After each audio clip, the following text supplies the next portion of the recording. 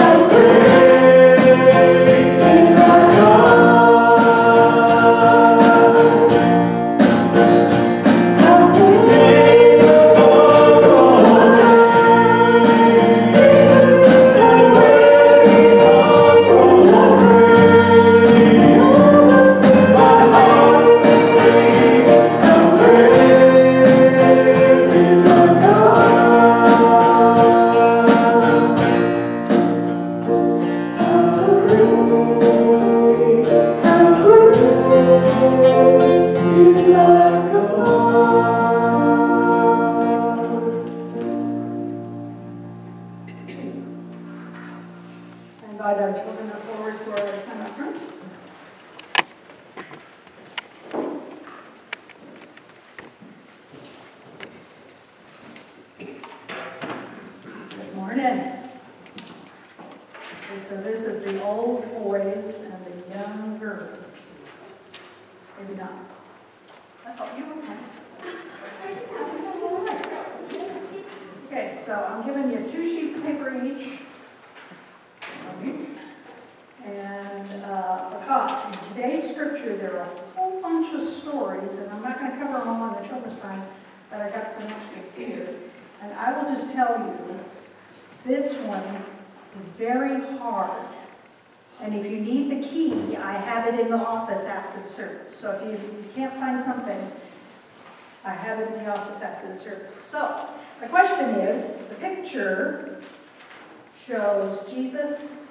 some sheep. Oops, sorry. And my question is, there are a lot of sheep and a lot of lambs in the Bible. Can you think of any sheep or lambs in the Bible stories? Yeah. Yeah, the shepherd. Jesus is the good shepherd. Exactly. That's perfect. And there are a couple other ones with shepherds where, well, there's one that's from the Old Testament. The Lord is my shepherd. And then there's one in the New Testament that says there's a story about some sheep that get lost, and the shepherd, the good shepherd Jesus, goes to find them. And so there are all kinds of things. So today has any other stories about sheep or lambs in the Bible? Anything that you can remember? I'll keep thinking. Keep thinking. Okay, so today we're hearing about sheep and shepherds, and uh, there also is a story about fish. And so the, the picture there of the fish is uh, trying to find fish. Jesus says, uh, make you fishers of men, and then they try to bring in fish, which is an idea for bringing in people. And so there's a lot of stuff in the Bible about animals and sheep and fish and all this kind of stuff, so there's some things to think about and listen to. But the main message of the sheep one is at the end of the story. So we've got Jesus, God is our shepherd, and Jesus is the good shepherd. And then the end of the story, Jesus says, feed my sheep and tend my lambs. I may have gotten it in the wrong order, but that's the, that's the idea. Take care of my sheep and my lambs. What do you think Jesus is talking about? Yeah. Yeah, yeah, take care of the sheep and the lambs. Take care of the people as well. Kind of, if God is our shepherd, if we're the lambs to God, and if Jesus is the good shepherd and we're the sheep, then Jesus at the end says, you take care of the sheep and the lambs, you take care of all the people in the world. That's kind of, that's kind of the point of all of it. It's taking care of other people, loving other people. And you do that very well. I've seen you taking care of other people and doing well with that. So that's the, uh, that, that's the sermon. So all you need to remember is take care of other people because God wants us to follow Jesus. And then we'll know, uh, we'll always know that God loves us and we'll be able to share that love with others. Okay, let's say prayer. Repeat after me. Dear God, thank you for teaching us. Help us to follow you. Amen. Thank you very much. Love you, friends.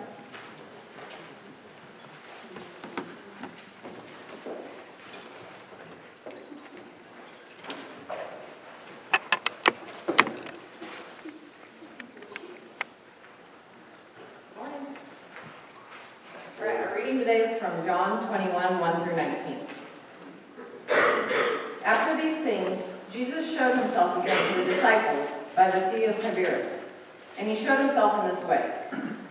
Gathered there together were Simon Peter, Thomas, called the twin, Nathanael of Cana in Galilee, and sons of Zebedee, and two others of his disciples. Simon Peter said to them, I am going fishing. They said to him, We will go with you.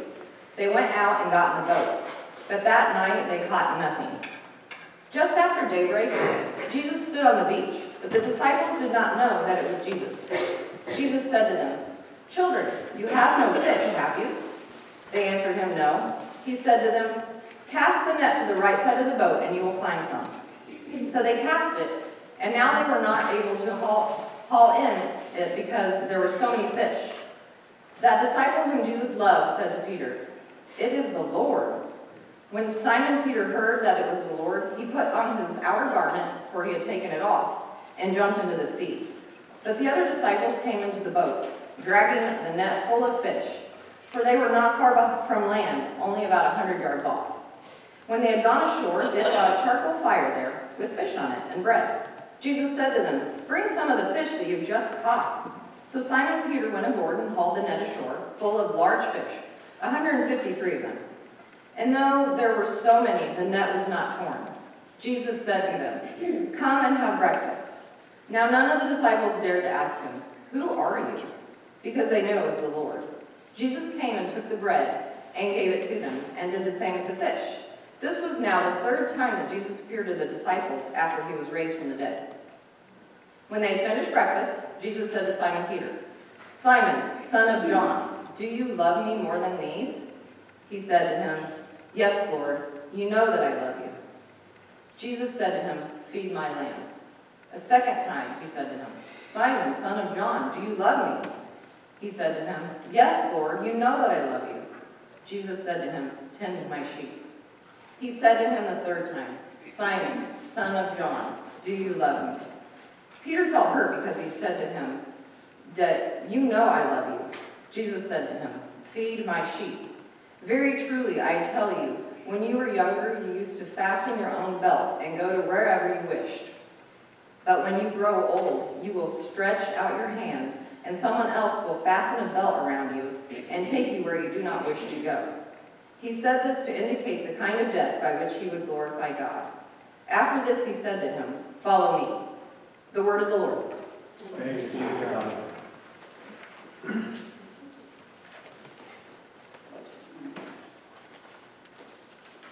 There is a lot in this scripture passage. In fact, often I have split it because it's really two stories, but they're one, they tie together so well. But this time I decided I would do it all, and you'll just have to be here a little longer. Maybe, maybe not. Uh, the scripture for today from John continues the Easter story, uh, another resurrection story of Jesus. I'm about to sneeze, so please excuse me. And um, we're not sure how much time has passed from this reading, from this scripture passage and the previous ones. Maybe a week, maybe um, a month, maybe shorter or longer. Mean, either way, we're really not sure how much time has passed, except it's enough time that they have traveled as a group or separately, but been recollected as a group from Jerusalem back to Galilee, where they grew up, and where they where their home territory is, where they first met Jesus. So enough time has passed as they've traveled, uh, and they are back in Galilee where they first met Jesus. The scripture seems pretty straightforward. Um, Jesus meets the disciples on, on the beach at the lakeside and leads them to bring in this great haul of fish, great catch of fish. And then Jesus visits with them on the beach for a little while and shares a breakfast with them.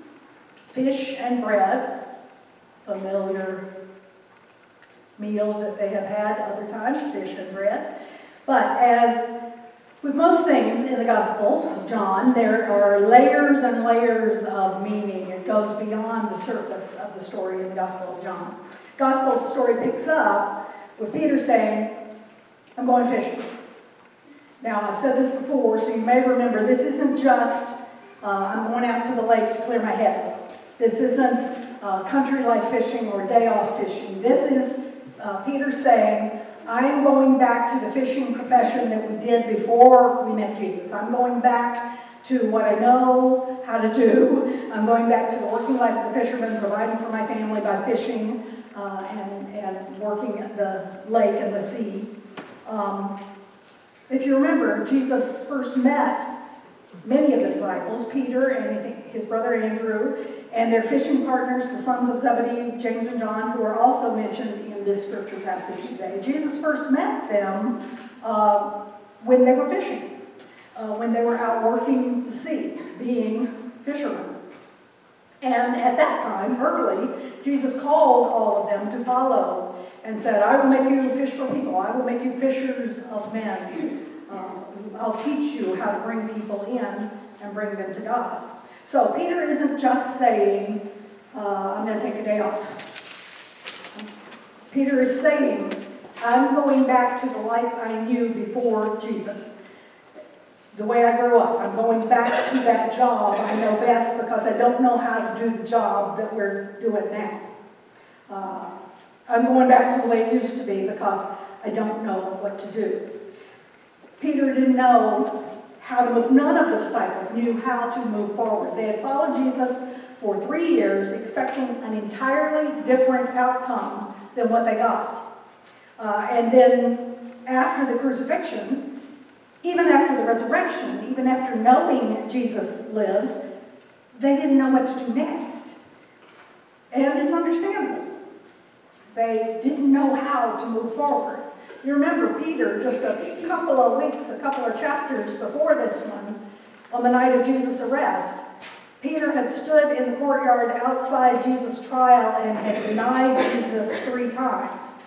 In a moment of weakness, in a moment of fear, Peter had betrayed himself as much as, as he betrayed Jesus. Peter, who was so passionate and impetuous, who had proven his love for Jesus many times before and really had worked miracles because of this love for Jesus. Peter didn't know what to do next, how to get past that failure and what to do for, to move forward. He was ashamed of failing Jesus, his failure of faith, and he didn't know what to do. He wanted to continue to work with Jesus, they all did, but he was aware that he wasn't Jesus. He was aware of his own frailty, and frankly, they were all afraid. He knew what Jesus did, but he didn't know what he should do, what Peter and the disciples should do. So they went back to fishing, back to their old way of life, and they waited. And of course, Jesus found them there by the sea with the other disciples. Jesus helped them to fish, helped them to do what they had decided to do, and more so, helped them to bring in a miraculous catch of fish, more fish than you could imagine in one night's fishing. And Jesus then just sat with Peter, offered him breakfast, and ate in quiet communion together. The story echoes back to other stories of fish and bread in the Bible. It echoes back to that first time they met, calling the disciples. It, it echoes, the story echoes back to the miracle of the 5,000, where there were fish and bread again, and Jesus fed them with a small amount of fish and bread, feeding 5,000 people. It also echoes back to the last meal that they had together, the last supper, the breaking of the bread uh, on the last night of Jesus' life, the breaking of the bread that we share in communion. The echoes are there. The breaking of the bread that transforms lives as we share communion with Jesus. See, these echoes are meant to remind us of who Jesus is, who Jesus was, who Jesus always will be. These echoes are meant to remind us that Jesus is one who sits with us, who calls us, who eats with us, who saves us, who feeds us. Jesus is the one who touches and transforms lives. Jesus is the one who is always with us. The echoes remind the disciples also of who they are called to be ones who follow this risen Jesus, ones who serve and love as Jesus did. The echoes remind the disciples then and us now, remind us, all disciples, that even though we're frail, even though we're imperfect, even though we make mistakes, don't know what to do, God has called us, and God will give us whatever we need. God will empower us. God will use us to work miracles in the world if we let God do it. The echoes remind us that Jesus loves us, that God is with us always. When you don't know what to do next, sit with Jesus for a while. When you don't know what to do next, Jesus will remind you who you are, who God is, how God loves, and Jesus will remind you of who you're meant to be, who we are called to be. I've always loved the end of this chapter, the exchange, the commission, and sending on a mission. There's something liturgical about, something worshipful about the way this exchange happens, back and forth, Jesus and Peter. Do you love me? Yes, I love you. Feed my lambs. Do you love me? Yes, I love you. Tend my sheep. Do you love me? Yes, I love you. Feed my sheep. The back and forth, the rhythm and the repetition, it's a prayer. It is a promise, an opportunity to hear and respond to God. The three repetitions with the slight changes echo and wipe out the three denials of Jesus, of Peter, uh, just a few weeks prior. Do you love me? Yes, I love you. Do you love me? Yes, I love you. Do you love me? Yes, yes, I love you. The forgiveness is real. The grace is very real in this encounter. You can feel it. The call goes deeper and deeper and deeper with each repetition. Do you love me? Yes, I love you. The call goes deeper to bring the best out of everyone who hears and responds. Do you love me? Yes. Yes, I love you. It is it's John's commissioning of the disciples, those first disciples, and all of us, not only to them, not only on that beach, but every day here in every single way. Jesus continues to call us. It's a very broad, inclusive commission. Feed, tend, care. You can fit a lot of things in there. Bless people as you have been blessed. Love people as you have been loved by Jesus. Love any way you can, anything you can imagine. Feed, tend, care. It's very open. Do you love me? Yes, I love you. Even when we don't know what to do next, God knows. And if we sit with Jesus for a while, it'll come. Jesus will tell us what to do next. God has greater plans for us than we can ever imagine. The disciples thought they would just go back to fishing, go back to what they knew, back to their old lives, back to the old way of doing things. Common thought among us to go back to the way it was. But at the hand of Jesus, their yield was so large and so abundant that they, they recognized nothing would ever be the same again. Touched by Jesus, life will never be the same again. Life is never ordinary. Life is always blessed by the risen Lord Jesus. If this miracle was a metaphor for church work, for sharing the good news of Christ, for being disciples today, then what's the message? Clearly, God has great abundance in store for us. God has great work and miraculous evangelism just waiting for us, waiting for our hands. God calls us to cast our nets into the sea and see what God does, what God produces through our labors and our love.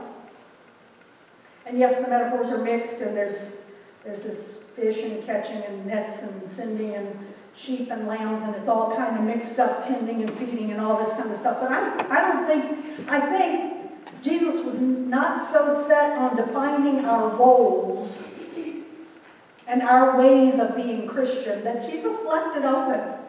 I think God tries to expand our understanding and help us to imagine greater. The Creator loves to create. And we who are made in the image of God are gifted to create, called to create alongside God, to imagine. Create ways of loving, ways of sharing, ways of caring, ways of tending, ways of reaching out, ways of bringing people to God, into the presence of God. Imagine. Let it grow. God blesses with abundance, and God calls us to act, feed, tend, care, share, love. This is the call of God for all the people of God. It would be very easy for us, three weeks after Easter, 2,000 years after that first Easter, it would be very easy for us to fall back into ordinary life, ordinary days, doing what comes next, to get busy with work or school or projects or appointments or comes and goes, whatever it is. It would be very easy for us to go fishing, go back to the old way, go back to daily work that we know, we think we know. In fact, in many ways, I think we already have. We've slipped back into our busyness. The scripture reminds us, at the hand of Jesus, by the grace of God, life should never be ordinary again. We are called to something greater. We are called to a miraculous, abundant, overwhelming, and life sustaining catch of fish, a great miracle that God has in mind for us. We are called to a life of loving and caring and tending and feeding and blessing the world because we have been blessed. God is prepared to work miracles through us, through you, through me, through us together. Jesus is waiting, ready for us to answer. Beloved, beautiful, wondrous children of God, do you love me? yes, Lord, you know that we love you. Let us follow Jesus into whatever joy or challenge God offers before us. Wherever Jesus leads, let us follow by the grace of God. Amen.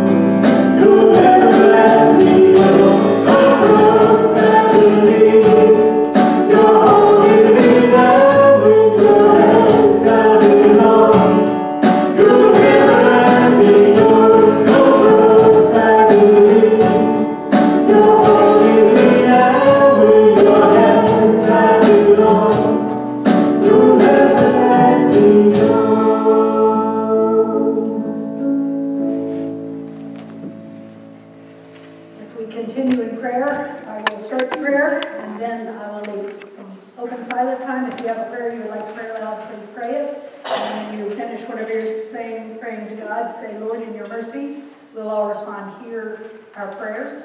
We'll keep going, and then we'll close with the Lord's Prayer when time comes. Let us pray together. So close, great God, we know you're right here with us always. And we know you don't let us go. Help us to remember that. Help us to feel your strength and your presence. We've heard your call to love one another, to care for the world. Sometimes we feel unworthy but we know that you make us worthy. You make us able to serve and to love. We pray, strengthen our commitment to follow you. Show us how to make a difference, how to feed and tend and care. Help us to see your, your sheep, your lambs, your people. Help us to know how to, how to love, to have the courage to do, to Love as you love in your name. We pray for people of the world, and especially those people who suffer in all parts of the world. We pray, we pray for those situations we see on the news and those people we know in our own neighborhoods who are struggling. We pray for transformation, that your goodness may abound, that your love may show, that we may be your witnesses in the world to grace and love. We pray for people in the world who try to help whenever possible, and we pray your, your blessing and your presence on those who rush in to serve faithfully. For law enforcement and emergency workers and firefighters and all those medical workers who care and try to help. We ask your blessing. Lord, in your mercy, hear our prayers. We also pray for those who are struggling, those who are sick or hospitalized, those who are homebound, in nursing homes, those who face difficult illnesses or diseases, or those battling addictions, mental health issues. We pray for those who are grieving the loss of loved ones, for any facing any kind of challenge. We ask your help for any who are struggling and your guidance that we may be a help as well. Bring peace to those feeling stressed, bring comfort to those feeling distraught, bring insight to those seeking guidance, and make us aware of any way that we may help others. Lord, in your mercy,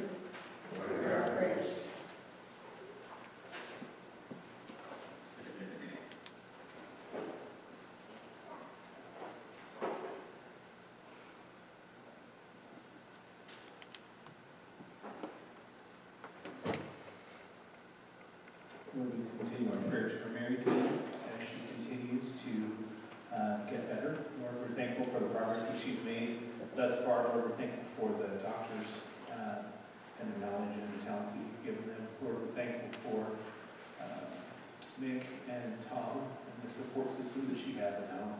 Lord, we just uh, pray that you will continue to lay your hand upon her and help her to stay positive. Lord, in your mercies. Hear our prayers.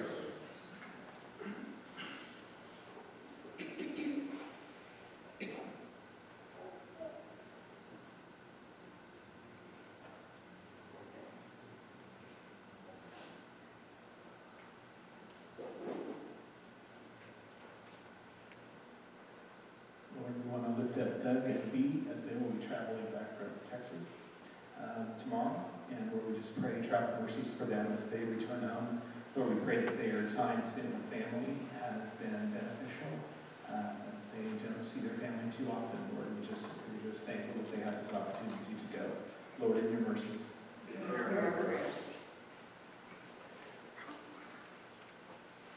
We continue to pray for our graduates and their families, that they may be blessed in this season of busyness, and that they may know your presence and your. Give them grace to know that you're with them, Lord, in your mercy. Hear our prayers.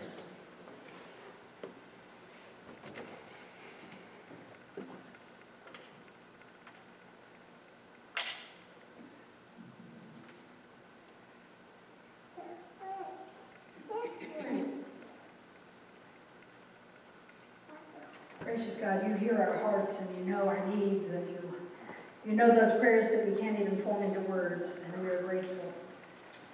We ask you uh, your blessing on our family and friends and uh, our relationships, that we uh, are clear in our love for each other and for you.